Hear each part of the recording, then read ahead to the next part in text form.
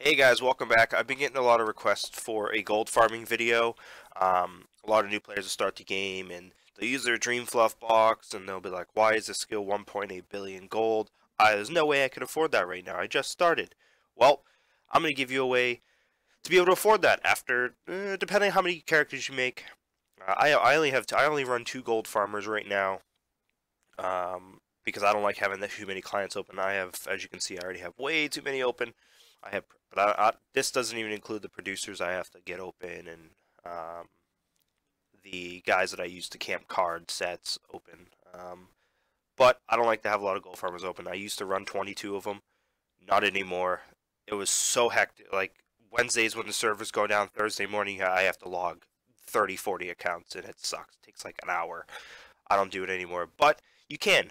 If you're a non-AG user or you're a very small AG user, like you buy 1200 here, AG here, 1200 AG there, you're going to need gold to gold farm because you're going to need to buy your skills. So this is a small guide on how to do that. Now, this video is going off the assumption that you bought a Dream Fluff box for your gold farmer. You watched the other video about what skills you need for the gold farmer. Um, and you got all those skills. Now, gold farmers are a little bit different gold farmers aren't based on leveling. They're not, you don't build them for leveling, you build them for maximum gold per hour. Not maximum gold per 10 minutes, not maximum gold per 30 minutes, maximum gold per hour. The reason that is because drops are random. You don't go off of drops every 10 minutes because you might not get one drop for 10 minutes and then you might get a drop every single kill um, for the next 10 minutes. So gold per hour is what you want to go off of. Now this character brings in probably about 12 mil gold per hour. These drops sell them. 12 mil gold per hour brings in probably about 200 mil a day, give or take 20 mil. Um, and then my other guy, he's a little bit faster. He's a little bit more geared. Um, he brings in a little bit less. He, this guy brings in the most gold for me. He's an assassin, as you can see. Um, but let's go over the build and what you need, what you're going to need. All right, so you just bought the Dream Fluff box, you just bought all the skills. Now for Assassin, I would recommend Assassin, one, because they have something called Mad Enhancement. Mad Enhancement increases your movement speed. That's the only important part you need in this. The attack, 600 attack, it's negligible because you already one hit these. Um, even with bad gear, you already one hit them. You need about, um, I want to say around 15 to 20k attack for this. You get that ask a weaponsmith to make you a weapon for 240, and you get that. Um, Mad enhancement, that's what that's your bread and butter. Makes you move at increased move, 60% increased movement speed, so you move mob to mob faster. And then poison dagger. You can also use the other daggers.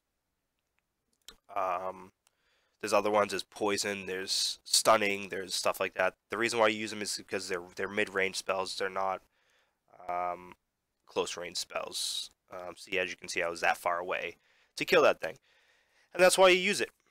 Um, everything else is Shadowy Killer. Eh. I got life because why not? The only skills that you absolutely need is your main skill in reserve. That is it. You do not need anything else. Mantle or Garment is recommended, that way you take less damage. You one hit him, so it doesn't actually matter. Spear, I use Spear for the Bloody Song. A little bit extra damage. Uh, axe, crit, extra shield, life, eh. I, as you can see, I didn't really get anything. Um, I don't use those for anything, but it's a gold farmer. It's meant to do. So if I want to bring this to a higher level place that I do not want hit, I have Holy Ballad, and I have Sacred uh, Silver Shield, and I have this, and I can go buy Senki support and all that. Now, the big thing you don't want to do when you're just starting out is you don't want to go all to all these NPCs and buy these skills like Senki support 4 and this and that. You want to because that would be investing money into a farmer right now when you need the gold for your main right now. So what I what I did for my older farmers is I set my guy to farm. 50% of everything he make will go to my staller just to, as, as like a bank. The other 50% would stay on him and I would use that 50% when it adds up to buy him to buy that farmer's skills. So I'll buy Senki support or um, maybe a higher level Mad enhancement if I want to level this guy and stuff like that. That way you're still gaining but you're also investing some of it into your guy over time. This is how you should do it. That way you're not making the down payment, basically the down payment on the guy, and then saying, crap, now my main's without skills. So what I do is 50% gets invested to this character, 50% gets invested to the other character. I with the 50% I use to buy this fuzzy chipmunk. It's just a mount, so when all this Dream Fluff stuff expires, I have a mount. Uh, the other 50%, like, I, I use all my 50% for this character to buy the badge and the weapon and the mount. And fashion's not really needed, so you don't need to worry about that. And stuff like that. Uh, also, Mark Portal Scrolls, not needed, but once again, that 50% is for this character to make him more efficient. Mark Portal Scrolls does that, so you can go to this place. You is uh, Hunter's Ridge. Uh, it's in Jurassic. Here we go. Hunter's Ridge in Jurassic. All you have to do is walk to Hoka's Village to sell your inventory. Not very far. But if you have like event items like I do now, then you're going to need to go to AL. That's what the Mark Portal Scrolls. Use this to go to AL. Use Mark Portal Scroll to get back. 10 mil a piece. 8 to 10 mil a piece. Um, one per day, if that. Um, and there you go. And the good thing about this place is it also drops S-Class stuff that you can use for your albums. Um, I do believe I have dropped one last night. I did. 130 sword, S-Class sword. I could use this for my album to make my main stronger. Uh, I plan on doing. I plan on making that times 10, a 10-5, and then albuming it right away. I have lower level stuff to do that. Um, so yeah, there you go. That's that's the setup for these. I would recommend Assassin once again because Mad enhancement move mob to mob faster. Um, I also have a spear. This is this is being used as a gold farmer for now.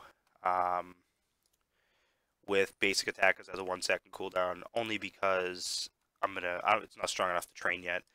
Um, and then this baby setup is literally just poison dagger, assist, use the buffs. That's it. I put this on soul, dis soul discharge on because this is an MP skill. Um, Another very good one is Axe. Pummel spam. Pummel, Pummel has like a 1.5 second cooldown, and it's an AoE, so it just spams it. Just spams it nonstop, so you can kill multiple mobs at once.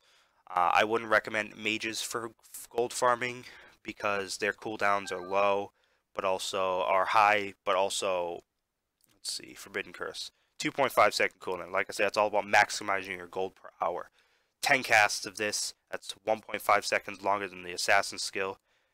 10 that's 10.5 seconds um, uh, I'm probably doing bad math but 10.5 seconds longer after 10 casts than the assassin skill and it just adds up over the course of a full day um, so you want the fastest you can get one second is the fastest you can get for a cooldown so any skill really bad will work poison dagger I got because it was mid-ranged spear basic attack is mid-range because you have a skill that increases the range of your spells uh, I'm not using that right now but it's right there, extended shot, makes your stuff mid-range. Uh, I don't know why I'm not using that right now. Oh, because I don't have it there. There we go. Let's put that there. Now all my stuff is mid-ranged. There you go. Um, axe you can use because the axe pummel's range. Sword, you can use Strangle Strike, longer cooldown, but it makes it so you can farm higher level mobs. Um, but mob, but farming locations, my recommendations would be as so. Just starting out, I would go here. I would go to Hunter's Hunter's Ridge in Jurassic. Best, this is like the most popular farming spot right here. You can go to Silver Snow, it's a little higher level. You can go to Sub-Zero Market, that's another very, very popular spot. Um, the reason why these are popular is because the item drops per hour are higher than most other places. Now, when you get to a very, very high level, um, let's see. There's a place in Sequoia or Shua. I, I did not remember what it is, but they drop one gold, 1k gold to 2k gold per kill. They're elite mobs, but you need to be have like 70k attack, and at that point, um, you're not gonna have to worry about gold because you're gonna be strong enough. You're, you're gonna have plenty of gold.